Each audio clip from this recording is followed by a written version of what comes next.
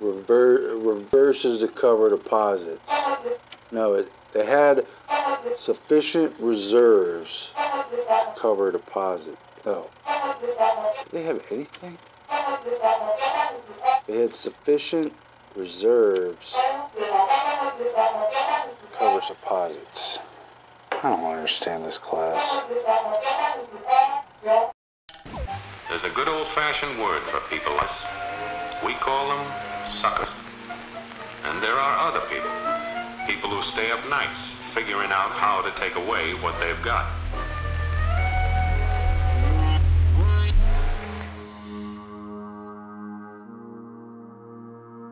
As you see, the top hat is still worn, but today only by a few.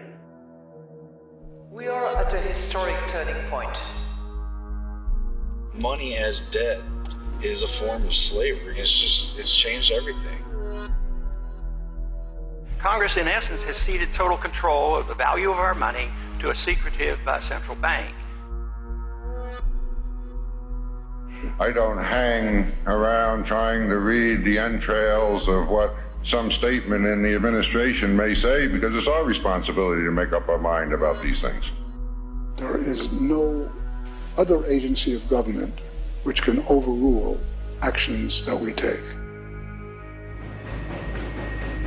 Picture a party of the nation's greatest bankers stealing out of New York on a private railroad car under cover of darkness, stealthily hiding hundreds of miles south. The key difference in, with the CBDC is that central bank will have absolute control and also we will have the technology to enforce that. It's a secret meeting at the time. They told nobody about it. The details came out later. But this is the place where the most important people in the world first came up with the formal plan to create the Federal Reserve. This place is crazy. I have alleged that there is a money trust. Better for the state relative to cash. Hi, welcome to Jekyll Island. To begin, first make a selection at the top. Second, please insert cash on the left or credit card on the right.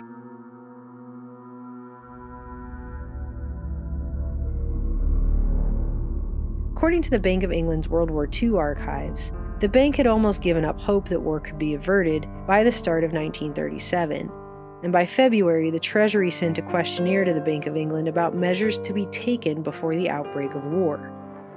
And Treasury representatives are on duty at U.S. embassies in major world capitals. This vital role, and indeed, Treasury's important involvement in the very life of the nation has continued throughout our history. Wink, wink. Unsurprisingly, in July 1938, the Bank of International Settlements facilitated the transfer of certain gold reserves from various European central banks to accounts at the Bank of England. Down the bright, straight road towards a new understanding in Europe. And so at Hitler's Munich headquarters, the agreement that has made the biggest headline since the armistice. Let no man say that too high a price has been paid for the peace of the world until he has searched his own soul and found himself willing to risk war and the lives of those nearest and dearest to him. Let no man criticize the bargain that the statesmen of Britain and France have struck. On September 30th, 1938, signing the Munich Agreement, British Prime Minister Neville Chamberlain and French Prime Minister Daladier agreed to Hitler's terms and ceded the annexation of Sudetenland, Czechoslovakia. One of the most tragic and ironic scenes in all history. Settlement of the Czechoslovakian problem, which has now been achieved, is, in my view, only the prelude to a larger settlement in which all Europe may find peace. This morning, I had another talk with the German Chancellor, Herr Hitler. And here is the paper which bears his name upon it as well as mine. Something they termed, quote, peace with honor.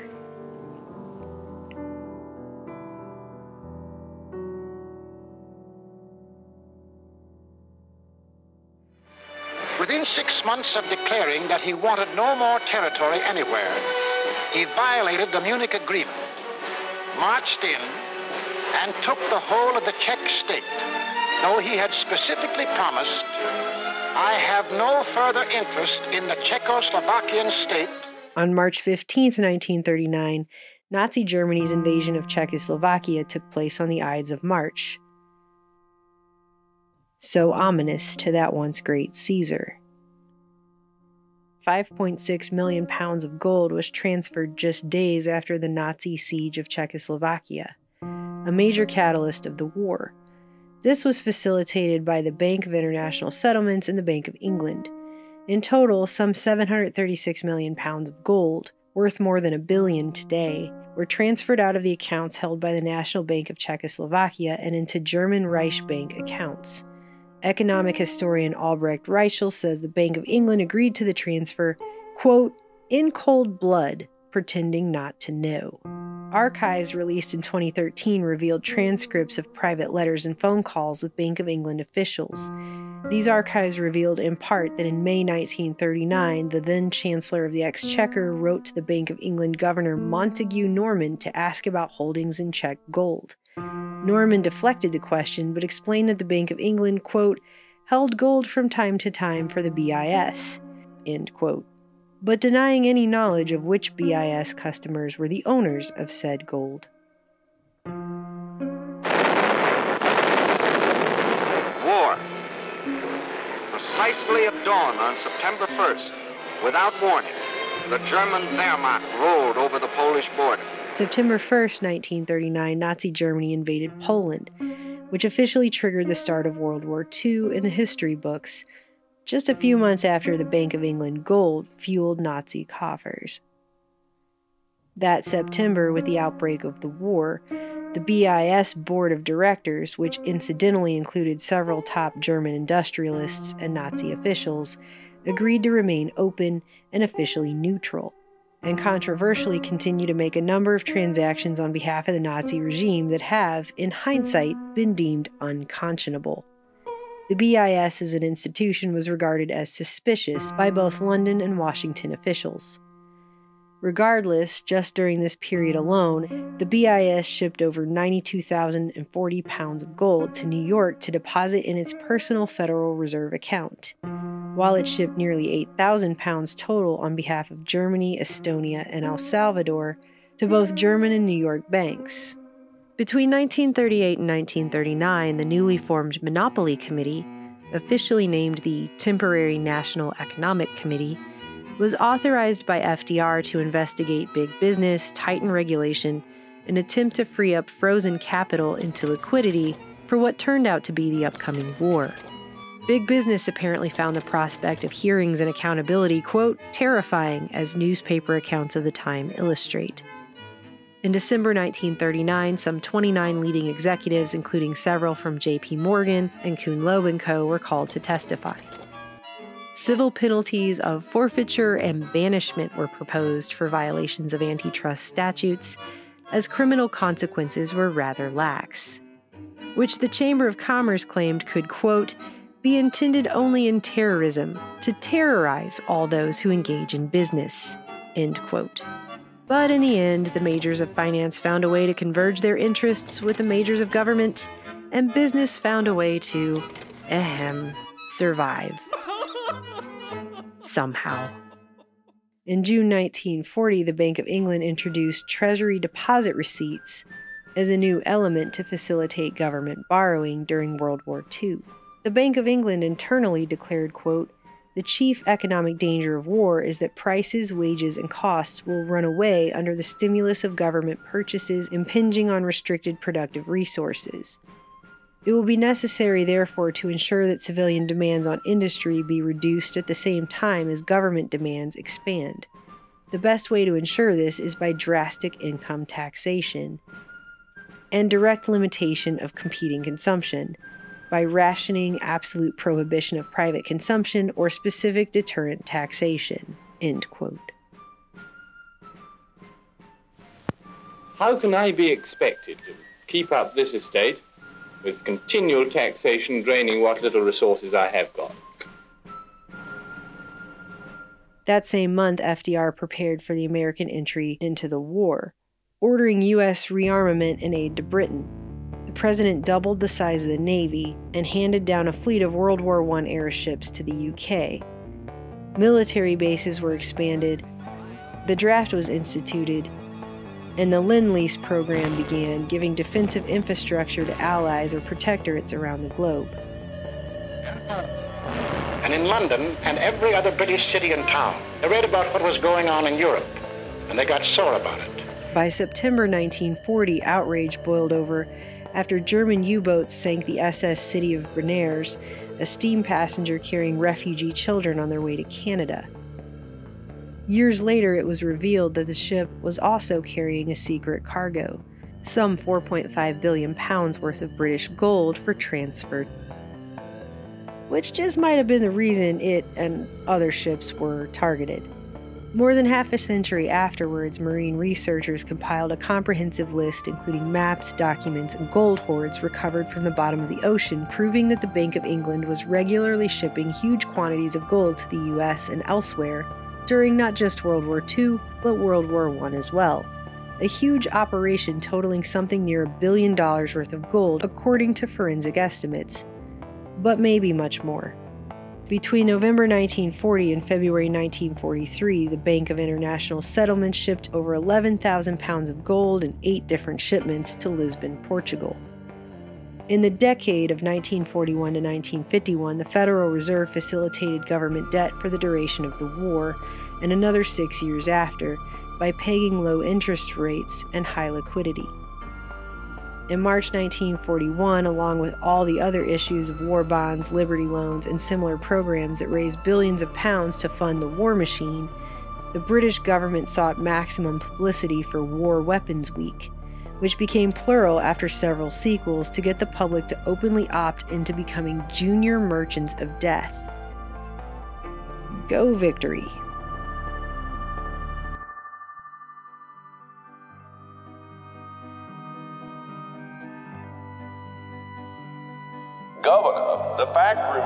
That they created the money, did they not? Well, the banks create money when they make loans and investments. How did you get the money to buy those $2 billion worth of government securities in 1933? We created it. Out of what? Out of the right to issue credit money. I'm not just anybody. I'm your fairy godmother. And there is nothing behind it, is there? Except our government's credit. That is what our money system is. If there were no debts in our money system, there wouldn't be any money. That's a laugh. As if everyone don't know there's no such thing as competition anymore in this country. The banks responded quickly to the call, and within a few hours' time, they provided the ransom money. That is the secret of American prosperity.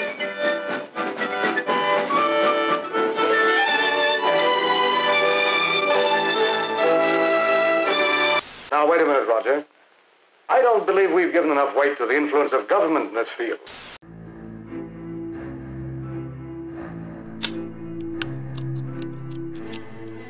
On July 31, 1941, newspapers ran major headlines about the fresh discovery in U.S. banks of a $3 million fund, subsequently frozen, that was established by German industrialist Fritz Thyssen, notorious by this point for his role in funding Hitler's rise from obscurity to power and for backing the Nazis through the end of 1938, at which time Thyssen ostensibly dissented against prevailing views. Specifically, Thyssen's account, seized by U.S. authorities under the Trading with the Enemy Act but returned after the war, was established through the Union Banking Corporation, which he set up in partnership with Wall Street bankers noteworthy as the principal directors of Brown Brothers Harriman and Skull and Bones members. Oligarchical collectivism in all its wretched form is so crystallized in this building right here, where people like Bush and Harriman were involved in the skullduggery of any given year and decade that they were alive and active, which was for quite a long time. W. Averell Harriman, the premier diplomat and future governor, his brother E. Roland Harriman, and Prescott Bush, the future senator and father and grandfather, respectively, of two future presidents. During the 1920s, Thyssen placed these men on the board of Union Banking to manage his interest in America. And in 28, I thought we were going to bring the world down on top of this because uh, we were lending money abroad and building up tariffs. During the period when the Dawes and Young plans funneled huge amounts of money to Germany to pay for war reparations and finance industrial expansion. By important issues, do you mean domestic issues, Senator, or issues of national security? Well, I would say issues of paramount national interest, national importance that might really affect the national security. As the papers noted, Brown Brothers Harriman partners knew about the connection. Quote, our partner, W.A. Harriman, was in Europe in 1925, and at that time he became acquainted with Fritz Thyssen. At one of his meetings with Mr. Harriman, Thyssen told him he was forming a bank in New York to look after his interest in the United States and asked Mr. Harriman to serve on the board. Mr. Harriman agreed that certain of his associates would serve in this capacity, and so various members of the Harriman organization, now Brown Brothers Harriman and Company, have been on the board ever since. End quote. If you want concentrated evil boiled down into a cube, Skull and Bones, Nazi banking, setting up the Soviets, the Federal Reserve.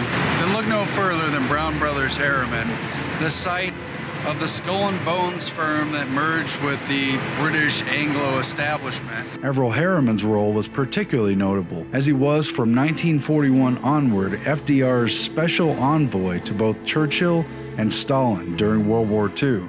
Americans in London are looking after the interests of Britain and the Allies. Mr. Averell Harriman is personal envoy of President Roosevelt, with the task of helping Britain to get the assistance needed from the United States. Embedded in London, later Moscow, and intimately involved with Churchill in forming the Atlantic Charter. Harriman's London mistress, Pamela, and later wife, was married to Prime Minister Churchill's son. When FDR blocked Harriman's attempt to include himself in closed door negotiations with Stalin, Churchill personally requested FDR to allow Harriman to stand in for the American president during their Allied power talks with the Russian dictator. Mr. Churchill with Mr. Harriman were starting their talks with Premier Stalin. See photo 18 of Harriman, sandwiched between Churchill and Stalin, filling in for FDR, whose reluctance to travel positioned Harriman as de facto power broker during one of the most important moments in history the carving up of the world. Meanwhile, Harriman was the only U.S. diplomat capable of cultivating a personal relationship with Joseph Stalin. They traded prized horses, spent personal time together, and Harriman enjoyed access to Russia not afforded any other Western individual. As the point man for the Lend Lease program, Harriman was in a position to promise war materials to Stalin while maintaining his significant personal investments in Russia and pre war Germany. To that end, this heir to the Harriman Railroad fortune scrapped perhaps billions of dollars of U.S. ships at the end of World War I, reconverting them for his shipping business, the America Hamburg line to Germany, import export business, particularly benefiting German industrialists, including the German Carnegie, the heir to the biggest steel corporation in Germany, Fritz Thyssen only to turn around and give perhaps billions of dollars in aid through the Lend Lease program to provide war materials to Soviet Russia, England, France, all to fight the very forces that had been built up by American and German industrialists during the interwar period, particularly through the Dawes and Young plans. One, two, three, what are we fighting for? According to Walter Isaacson and Evan Thomas in The Wise Men, Harriman, quote, often seemed a sovereign in his own realm, end quote, and was often able to personally call the shots on American foreign policy, even when he lacked authorization to do so. Furthermore, according to Isaacson and Thomas, when Harriman carried secret dispatches between London and Moscow during World War II, he chose as the combination on his diplomatic case the numerals 322 the Skull and Bones Society's secret number. The connections here were unlikely to be casual or unimportant. Averell remained an active director of Brown Brothers Harriman throughout the war, and through Brown Brothers and Brown and Shipley Company, his many entangling international investments also connected back to N.M. Rothschild London and the Bank of England.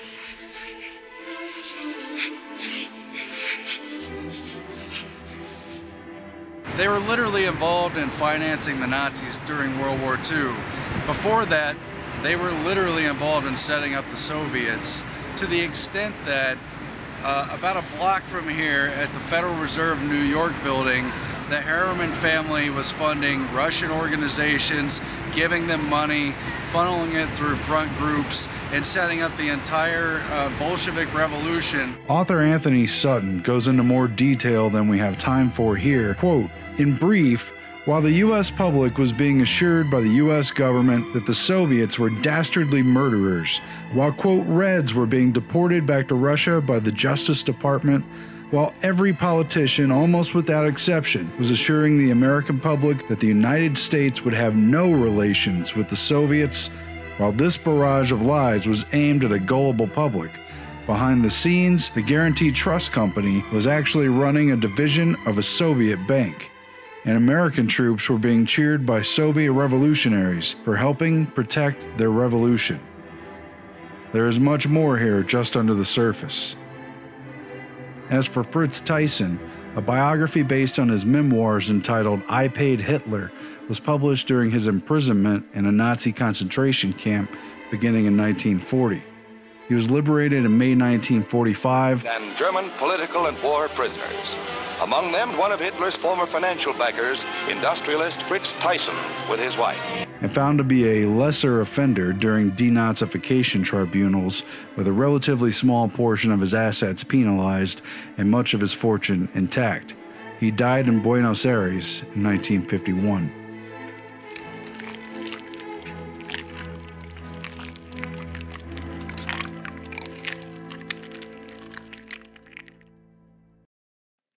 August 14, 1941, President Roosevelt and Prime Minister Churchill, along with other representatives, issued the Atlantic Charter. And Roosevelt became a mighty name in a world that went to war. Meeting with Winston Churchill off Newfoundland in August 1941, the president aligned the power and prestige of the United States on the side of the democratic nation. Together, Roosevelt and Churchill issued a statement that came to be known as the Atlantic Charter, proclaiming to the world those guiding principles of freedom on which they were firmly united. Stating broad economic and political goals for after the war before the United States had even entered it.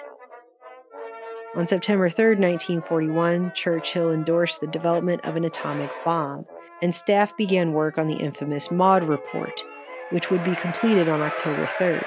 Churchill, too, with bustling exuberance, persuaded most political opponents to forget his past. On September 11, 1941, declaring that conspiracy has followed conspiracy. Conspiracy has followed conspiracy. FDR cited the disputed Greer incident where a World War I era U.S. destroyer was allegedly fired upon but not sunk. The president remarked When you see a rattlesnake poised to strike, you do not wait until he has struck before you crush him arguably attempting to bait the U.S. into the war.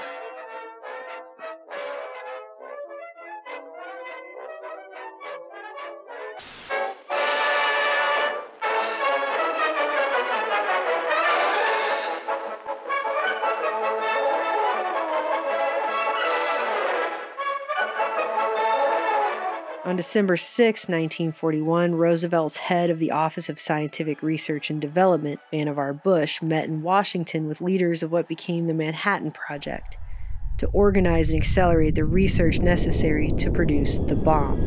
You know, up to now, I kept thinking that everything science did was good. My training, I suppose. Now I'm not so sure. The S 1 division was initiated. The following day, on December 7, 1941, a date which will live in infamy. The Pearl Harbor attack resulted in FDR declaring American entry into World War II on the following day. Emergency. Emergency. Emergency. December 8th. Our union is asking its members to invest every dollar it can in these bonds. And with God's help and your dollars, we'll win this war for democracy. In World War II, as part of its powers to conduct open market operations, the Fed bought bonds from the Treasury to help finance the war. Fed officials felt that providing that service was essential to victory. So the Fed bought all the bonds the Treasury wished to issue that were not bought by the public. On March 26, 1942, FDR signed Executive Order 9112 guaranteeing loans to industry for war production, which was further expanded on April 24, 1943 in Executive Order 9336. According to the Federal Reserve website, the New York Fed engaged in foreign transactions on an extensive scale. It held gold and dollar accounts for 59 foreign nations.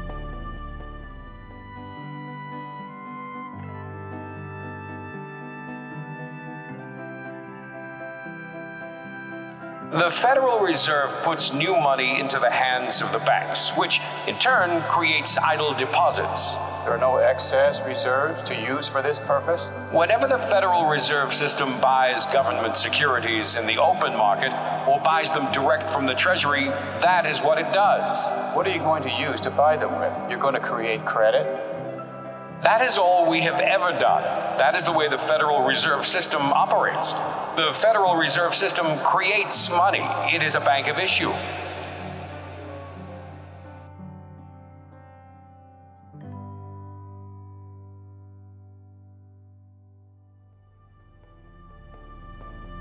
Beginning in July 1942, the Federal Reserve pegged interest rates for the Treasury bills it bought in mass to 3 eighths of a percentage rather than 2 to 4 percent in order to finance war costs, which grew to approximately 85 billion in 1943 and over 91 billion in 1944 alone. The Bank of England likewise engaged in secret wartime activities in support of the War Office, not only the production of notes and handling of large quantities for major military offensives, but also for special purposes, such as sabotage, subversion of underground movements, and airmen's purposes. In December 1942, the Nazis dropped propaganda leaflets over northern Egypt in the form of facsimile reproductions of the Bank of England's emergency one pound notes. On the back of the fake banknote was a message written in Arabic that read, in part, Signs of disintegration. If you inspect this banknote, you will remember the time when it was worth 10 times its present value in bright, shiny gold. The strength and riches of the mighty British Empire supported such notes, but that greatness is fading as in the value of this worthless piece of paper. Each battle that England loses causes a further weakening of their currency. The day draws near when even the beggars in the street will refuse the British banknote. Also in 1942, over 4,000 pounds of gold was sold and shipped from the BIS to Bulgaria in three to four different shipments, just by the way. From Berlin and Tokyo and Rome, we have been described as a nation of weaklings, playboys, who would hire British soldiers or Russian soldiers or Chinese soldiers to do our fighting for us. I know that I speak for the mass of the American people when I say that we reject the turtle policy and will continue increasingly the policy of carrying the war to the enemy in distant lands and distant waters. Circa 1943, the Federal Reserve Banks organized victory fund committees and established plans to market war bonds in cooperation with commercial banks, businesses, and volunteers. On April 20th, 1944, Italy's central bank transferred over 27,000 pounds of gold to the Bank of International Settlements based on commitments it had made to the bank during the 1930s. Our target is 2 million pounds. Only 2 million. Now it will be necessary for everybody in this city or interested in the city to do their very best to make up that 2 million pounds. You're only asked to lend this money to the government They're not asking you to give it away for nothing. Beginning on July 1st, 1944, while World War II was still raging and supposedly nobody knew who would win the war, the bankers and government officials of the world's leading countries were attending the Bretton Woods Conference, formerly known as the United Nations Monetary and Financial Conference, to arrange the next global monetary system, resulting in a decision to make the US dollar the world reserve currency backed by gold, and to peg all other currencies to the dollar. Bretton Woods further created the World Bank and International Monetary Fund, or IMF. Despite opposition, a measure to liquidate the Bank of International Settlements as soon as possible, that is, the central bank of the central bankers, was also approved at this time. However, this was never implemented, and the idea was abandoned by 1948.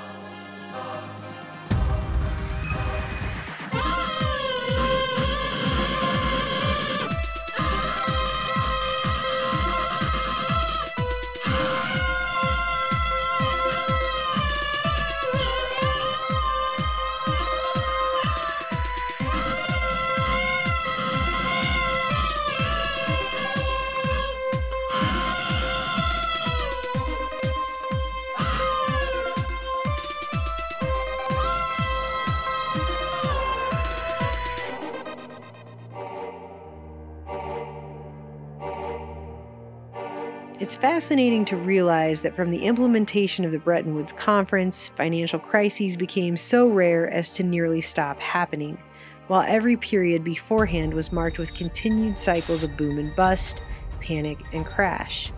Once the US dollar, the world's reserve currency, was taken off the gold standard in 1972 by the Nixon administration, a new period of hyper crises suddenly emerged, putting the last several decades of volatility into sharp historical relief.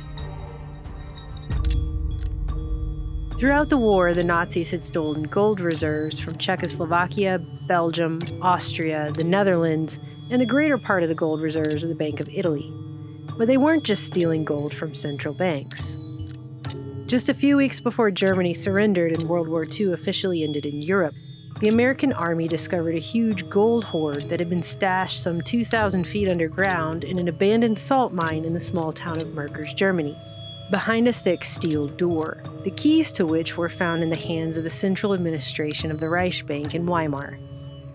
The army hastily flew in an American banker from Paris to inspect the treasure. Among thousands of bags of German and foreign currency, not to mention suitcases and trunks full of gold and silver belongings looted from people's homes throughout the continent, the army discovered 8,307 gold bars, 3,326 bags of gold coins, 55 boxes of gold bullion, 63 bags of silver, one bag of platinum bars, and eight bags of gold rings and human teeth stolen from the victims of Auschwitz and Buchenwald. And 27 authentic paintings by Rembrandt. It was later confirmed the entire gold reserve of the Reich Bank was down there, and the New Yorker reported that this was the first time in modern military history that one side of a conflict had captured their enemy's every red cent. Soon to be president, but then commander of Allied forces, Dwight Eisenhower even came to inspect the massive find. It also later came out that American General George Patton had hatched a plan to hide the gold from the American government, instead, wanting to use it as a hidden reserve to buy military weaponry.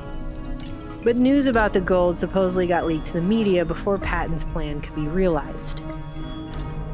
It has been estimated that the Nazis looted the equivalent of over 9 billion of today's dollars worth of gold from central banks over the course of the war. And less than half of that was recovered at Merkers mine. As Medium's Peter Presker wondered, where did the rest of the gold end up? On May 7, 1945, Germany surrendered unconditionally, effectively ending the European front of World War II. On August 6th and 9th, 1945, the United States dropped atomic bombs on Hiroshima, then Nagasaki, killing hundreds of thousands of civilians.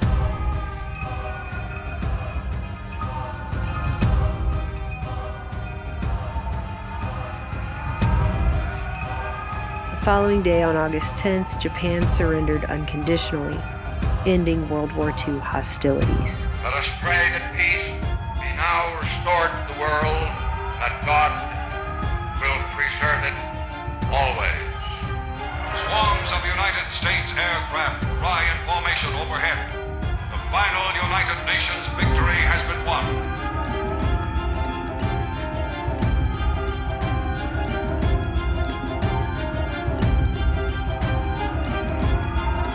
Brotherhood is no longer an outmoded tenet of religion, but the very price and condition of man's survival.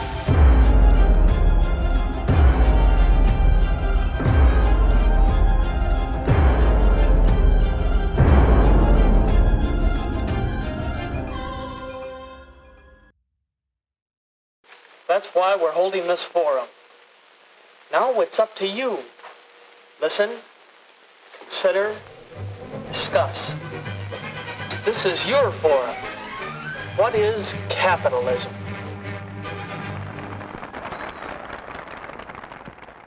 Part 10 1946. Just after the war, and 250 years after its creation, the Bank of England was nationalized, making this powerful yet private frenemy matchmaker even more quasi governmental. As private shareholders holding Bank of England stocks enjoyed a healthy 12% in annual dividends, the government converted their holdings into 3% treasury stock, granting them £400 for every £100 to equate the same returns. In July 1947, President Truman signed the National Security Act, converging the different sectors of the military under the Department of Defense, establishing the National Security Council, and setting up the CIA, etc., etc., etc., and putting everybody in the country on a need to know basis.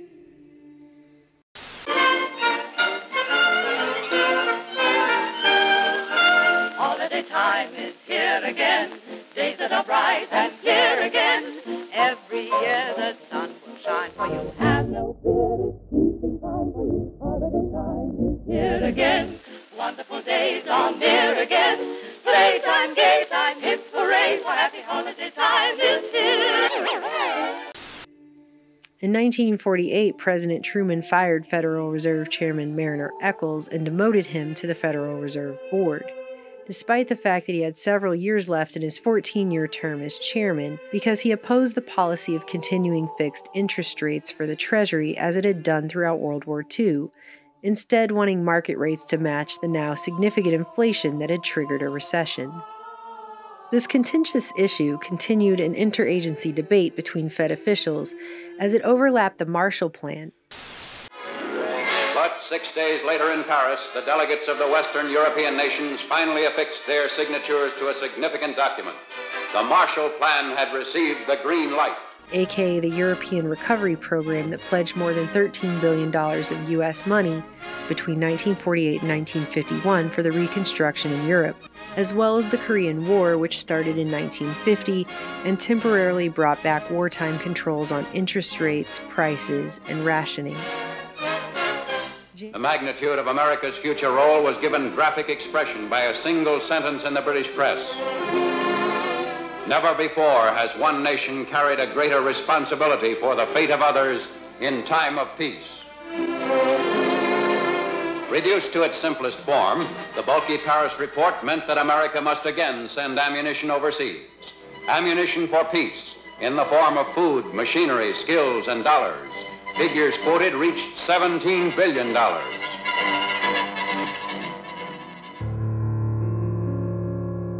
Just after freezing prices and wages, President Truman called a meeting with the Federal Reserve's Open Market Committee. Truman called the entire Federal Open Market Committee to the White House to give them a tongue lashing. Never before had a president gotten so directly involved with trying to influence Fed policy. And subsequently issued a public announcement that the FMOC agreed to maintaining fixed interest rates on Treasury securities. Shortly afterward, on February 5, 1951, then Federal Reserve Board member Eccles and other board members went to the press contradicting the White House, with Eccles stating he was astonished at the president's false claims, instead asserting that no agreement with the Federal Reserve's Open Market Committee was actually made. On March 4, 1951, the Federal Reserve and the Treasury made a joint announcement known as the 1951 Accord, upholding the independence of the Federal Reserve Central Bank, acknowledging its claim to create monetary policy without obligation to or interference from the Treasury Department, White House, or federal government generally. I mean, wow. Eccles resigned from the board and retired on June 21st having not at all been f***ed with by a mere president of the United States. The details of that can be found in his memoir. Truman, the president who proclaimed the buck stops here and who gave final authority to drop the atomic bombs, creating awe around the world at the immense power it unleashed, and who presided over World War II victory and a new era of American dominance might have been arguably the leader of the free world, but he was told no by the Federal Reserve Board. Not only embarrassed, but put in his place, once and for all, determining that the executive branch did not have authority over the Fed, not the Treasury or the President. That, apparently, is where the buck stops. What is the uh, proper relationship? What should be the proper relationship between a chairman of the Fed and a president of the United States? Well, first of all, the Federal Reserve is an independent agency. There is no other agency of government which can overrule actions that we take. So long as that is in place, what the relationships are uh, don't frankly matter because the Declaration of Independence was stolen so the banks could do what they like? The post war period is remembered as a relatively prosperous and idyllic one in the United States, particularly if you go for that whole 50s nostalgia thing.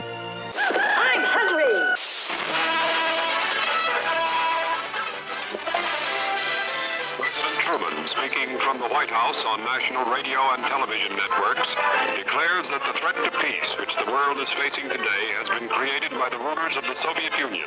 Because our freedom is in danger? This is why we are in such grave danger. Our homes, our nation, all the things we believe in are in great danger. This danger has been created by the rulers of the Soviet Union. The danger we face exists not only in Korea, but Europe and the rest of the world are also in very great danger. Well, the present situation is dangerous. We're not going to ignore the danger. We have the strength and we have the courage to overcome the danger. The danger that confronts us, the present danger. The American people have always met danger with courage and determination. I am confident we will do that now. Danger. Despite the Cold War and plenty of instability in the forms of coups and revolutions at the local level of the global chessboard, it was also a period almost completely absent of financial crisis and economic instability, as the Bretton Woods Agreement had the world trading for the almighty American dollar. Not that it was altogether free from problems. The workers' efforts create wealth and supply the money for government spending. The government has no money of its own, except what it takes directly and indirectly in levies and taxes from every pay envelope. Collecting each year $100 billion or more in federal taxes, the Internal Revenue Service probably has continuing contact with more citizens of the United States than any other agency of the federal government. Its more than 60,000 employees staff a national headquarters office, seven regional offices, several service centers, nearly 60 district offices, and 900 local offices. What are you going to do about it? Recession hit hard in 1958 after the Federal Reserve created 2.25 billion in excess credit. Foreign central banks redeemed some 2,000 metric tons of gold in just one year, the largest acknowledged loss in a single year by any nation in history. Billions scattered in all directions. In October 1960, gold prices hit $40 an ounce on the London Gold Exchange, exceeding the target price of $35, with inflation headed out of control. On January 22, 1961, just after his inauguration, President John F. Kennedy issued his first economic report to Congress, noting that while the post war economy had been free from major depression, it had also endured four recessions over the last 15 years. Despite 1960 to 61 setbacks, this economy was now regaining momentum in response to action taken under the 1946 Employment Act, quote, to promote maximum employment, production, and purchasing power. According to JFK, gold was leaving the country at a rate of more than $300 million a month, while there was a $10 billion deficit in international accounts. Thus, he aimed, quote, to restore confidence in the dollar and to reduce the deficit in international payments, End quote. Meanwhile, the Kennedy administration piloted programs for food stamps, housing, price stabilization, tax programs, etc., etc. In February 1961, JFK pledged that the fixed $35 an ounce exchange rate would be officially honored with foreign creditors. Right after that, a secret agreement was reached between the Federal Reserve and the BIS which began the London Gold Pool in an effort to suppress price increases in the London gold market. Each country's central bank pledged certain amounts of their gold, and a dump and reimbursement scheme was coordinated with the Bank of England and respective member central banks. The United States pledged a full 50% of the gold, around 120 metric tons, and Germany, England, Italy, France, Switzerland, the Netherlands, and Belgium each pledged between 4 and 11% of the remaining pool. It had the effect of making the gold market stagnant and keeping prices from fluctuating as independent buyers were discouraged and non Western nations largely kept at bay. That's where we're fooling ourselves. On June 4, 1963, President Kennedy issued Executive Order 1110, which, contrary to popular belief, was an order designated to enhance the use of Federal Reserve notes, which were then backed by gold, and phase out the use of silver certificates. As the price of silver continued to rise, about the face value of coins and notes made of and backed by silver.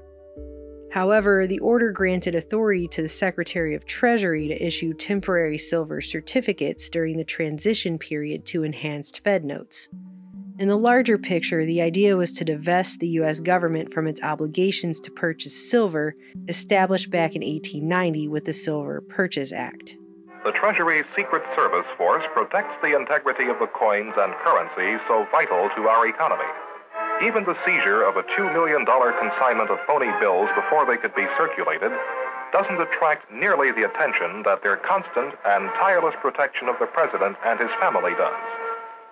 The President at all times is under the protective cloak of the Secret Service. Since 1901, this small corps of dedicated Treasury men have had this formidable responsibility. For this is their primary mission, a mission for which they are prepared to give their own lives. On November 22, 1963, JFK was assassinated.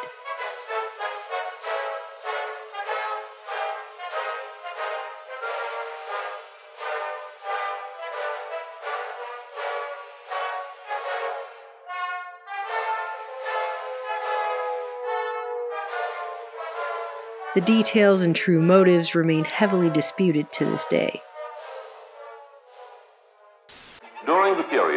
1863 to 1963, our commercial banking system successfully adapted itself to the changing needs of our dynamic economic system. The predictions that were made 100 years ago have generally been far too conservative. Nobody can predict what the American scene will look like 100 years from today. But we can be sure of this central fact. The American commercial banking system will be a part of that scene. And they built great cities, monuments to their progress.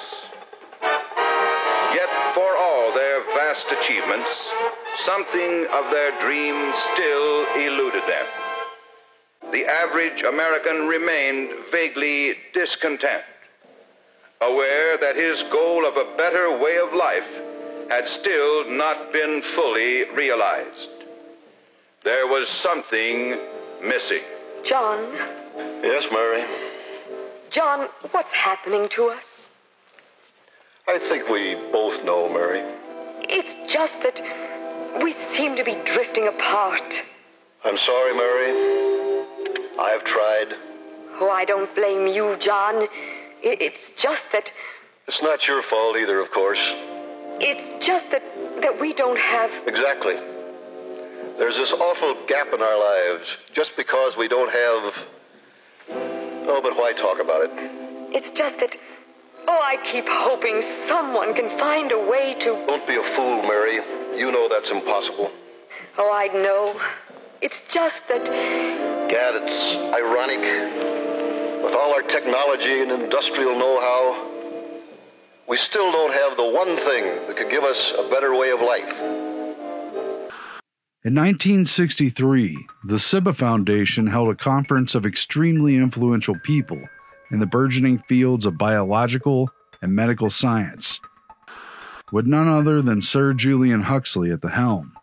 Huxley, who had been the first head of the United Nations Educational, Scientific, and Cultural Organization, better known as UNESCO, the global agency that held the tagline, quote, building peace in the minds of men and women,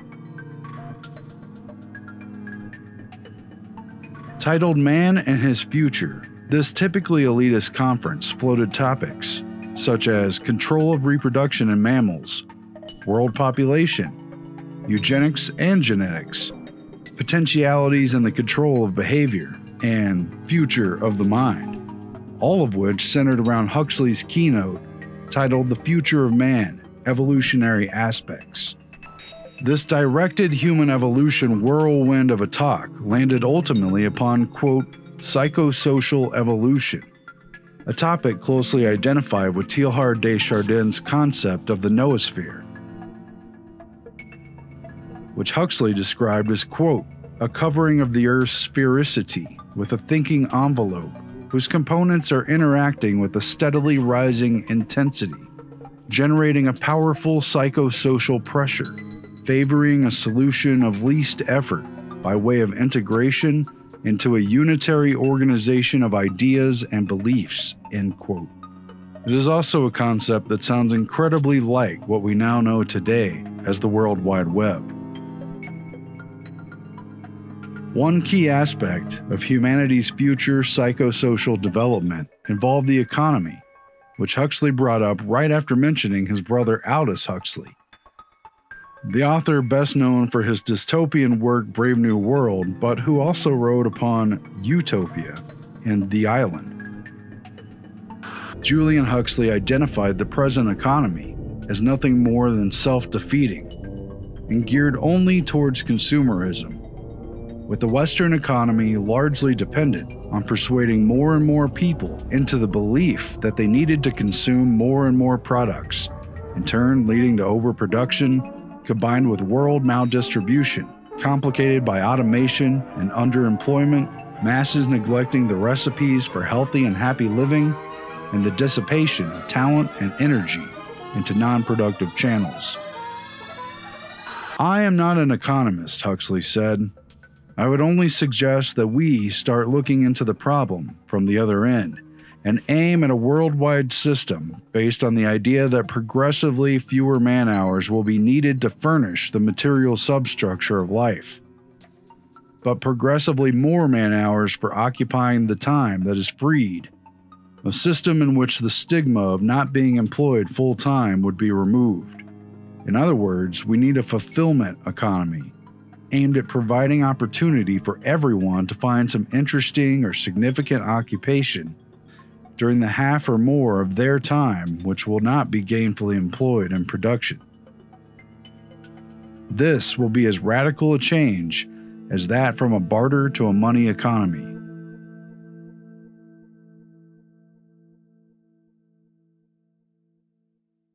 By 1967, the gold pool faced catastrophic losses after the mounting costs of the Vietnam War, Great Society social programs, and other major factors, including the major deficits on the part of the U.S. with international accounts, resulting in an accumulation of dollars in foreign hands subject to redemption in gold.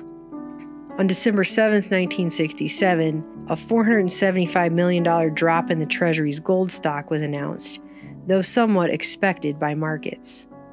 Five days later, a memo from the Federal Reserve expressed panic over the drain on the London gold pool and acknowledged that the Treasury's falling gold stocks were saved from further losses only by logistical acrobatics, which is, if I had my wish, definitely the name of a band that I would sing for someday. Any takers, just, you know, hit me up with an email or something.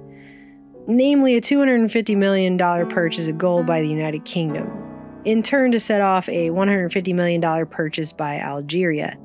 Concerns were expressed about countries getting out of the pool, and fears went wild.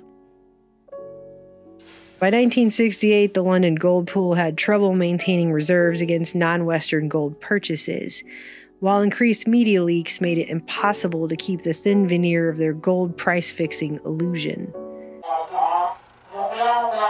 inflationary depression and stagnant gold pools? On March 17, 1968, the London gold pool officially collapsed. But why, some say the moon. We choose to go to the moon. We choose to go to the moon. We choose to go to the moon but because they are hard to the moon. On August 15, 1971, President Nixon was pressured to close the gold window, denying foreign redemption of dollars for gold, and effectively declared the United States bankrupt for the second time, as it admittedly did not have enough gold to meet demand. The fixed rate of $35 an ounce was officially ended. Tectonic plates were in motion and paradigms were crumbling two song titles that I plan to put on my first album for my new band, Logistical Acrobatics. The most compelling reason why President Nixon acted now is not being mentioned publicly. Last Friday, a number of countries tried to cash in their paper dollars for gold from America's dwindling supply. Nations have always had the right to do this, but they haven't until now, in order not to upset the international monetary system. A high administration official said privately that when this international discipline showed signs of cracking, the United States had to act quickly. There are twice as many paper dollars in foreign treasuries as there is gold at Fort Knox.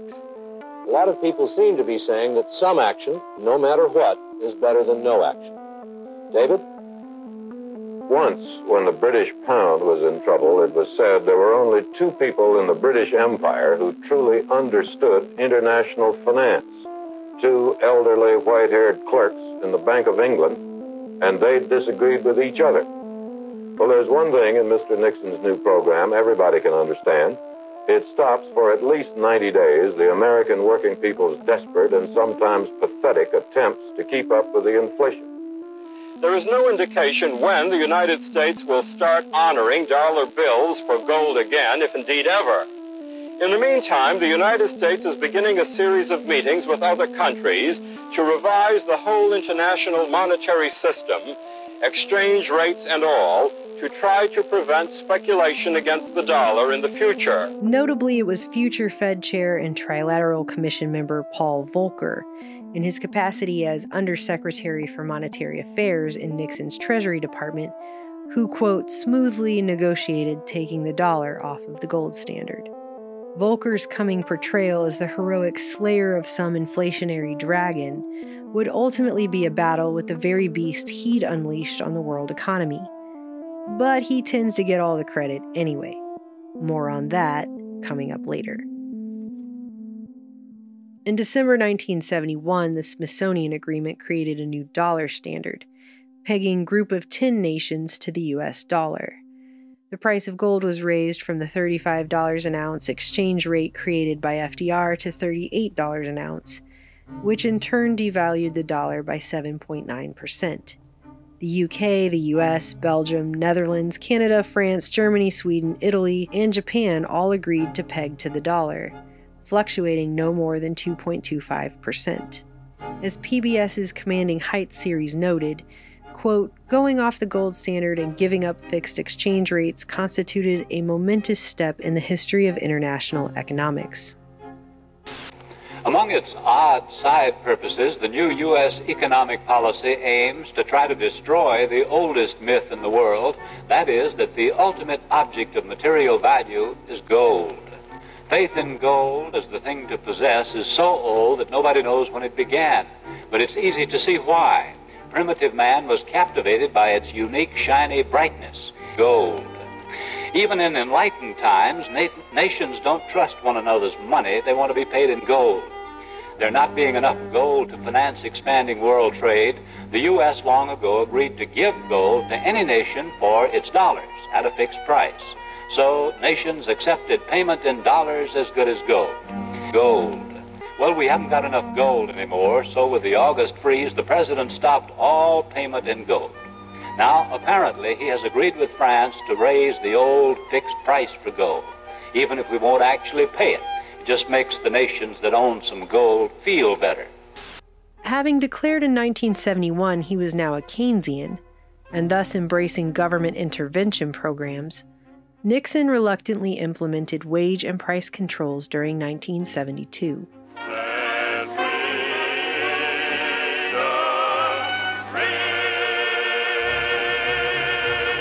By Valentine's Day 1973, the Federal Reserve and the Nixon administration were forced to announce a further devaluation of the US dollar by 10%, as the price of gold rose to $42 an ounce and beyond, prompting Japan and European countries under the Organization for Economic Cooperation to back out of the deal, floating their currencies freely.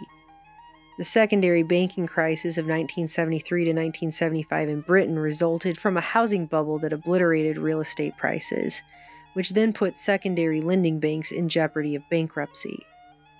On October 6, 1973, the Yom Kippur War began between Egypt and Israel, with involvement from various Arab countries, the United States, the Soviet Union, and European nations, a situation which our Henry Kissinger meddled in significantly. I'm just trying to organize an evasive reply. On October 17, 1973, the OPEC nations announced an oil embargo, a reduction of 5% in oil production due to U.S. support for Israel in the war.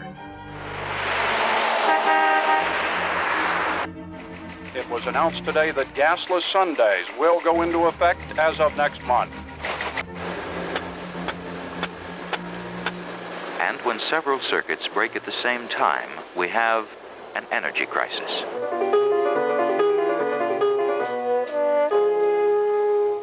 On October 19th, Nixon sent an additional 2.2 billion in aid to Israel in response to the embargo, prompting Saudi Arabia, the leading OPEC nation, to institute a total embargo against the US and other western nations, which triggered the 1973 energy crisis. Perhaps figures don't lie, but they do disagree. The president's chief economist now says maybe the fuel shortage won't be as bad as originally thought. A lot of oil men and others say it will be worse than originally thought. Whoever's right, nothing could be worse than government blowing hot and cold on the winter's prospects. The only realistic approach is to expect the worst, prepare for it, and offer hallelujahs if it doesn't happen.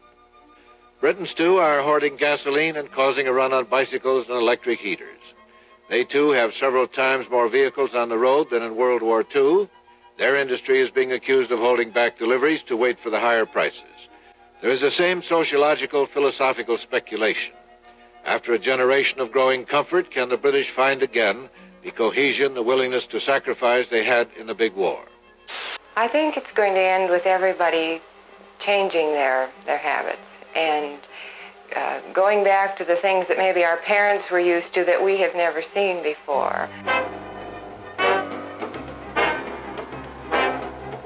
We must change if we're going to have the energy we need. Prices quadrupled over the next several months and remained high through 1974 as dependence on foreign oil crippled the economy, which was dealing not just with oil shortages or the surging prices, but the confusing quagmire of mixed signals that is stagflation, a frustrating and disorienting period of price inflation with stagnant no go growth.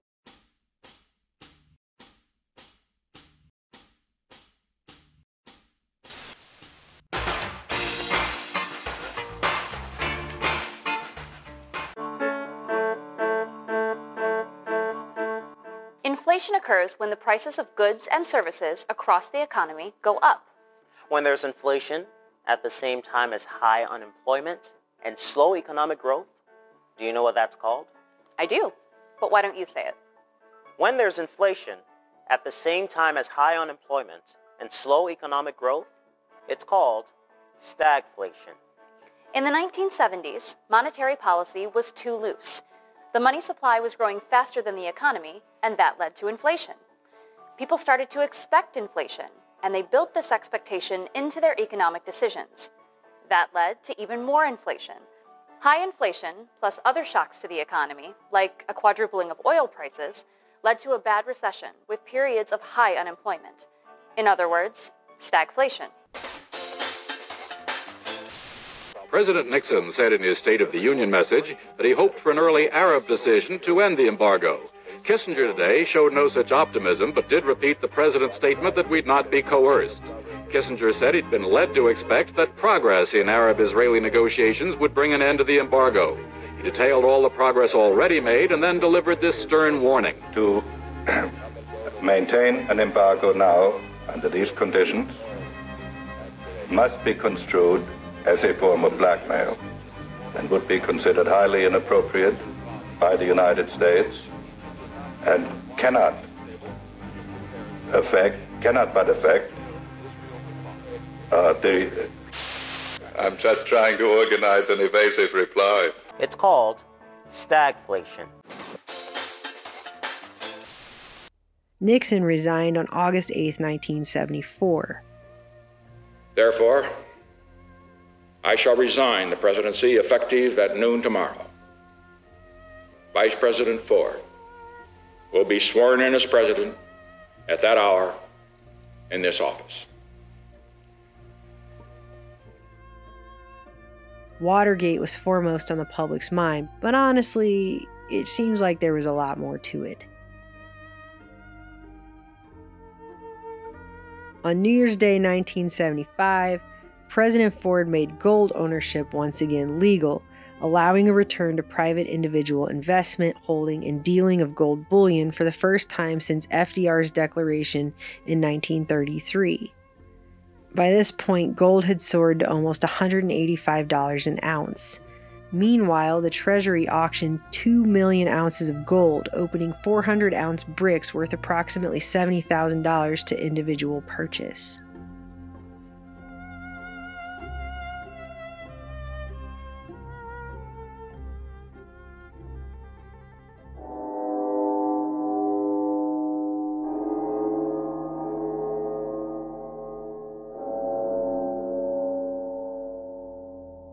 When most people think of alchemy, their minds conjure up images of Dark Age relics, of proto chemists laboring over smoking crucibles, theorizing on the manipulation of structures of metals and purifying strange substances for their secret purposes, leading to one of the ultimate alchemical quests to literally transmute or transform lead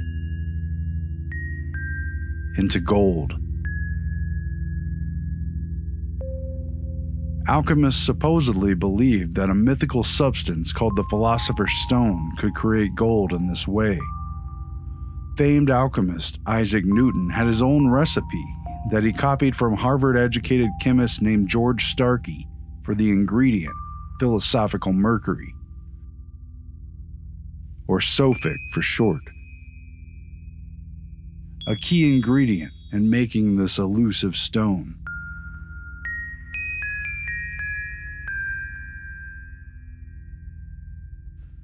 But this alchemical gold did not solely refer to the most obvious physical representation. For the alchemist, gold was also a term used to describe the process of the purification and perfection of any and all matter by the alchemist. Not just outward physical material, but esoteric and etheric, including the mind or the soul. Fewer consider the more occultic aspects of this internal quest for philosophical gold, a quest for what the perfectibilists may have sometimes referred to as enlightenment.